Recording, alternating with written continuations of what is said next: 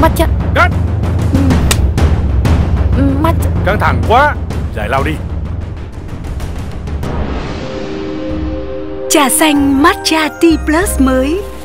Chứa theanine giúp thư giãn tinh thần để bạn luôn thoải mái.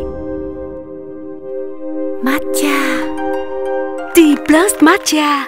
Uống cho ngày thư giãn.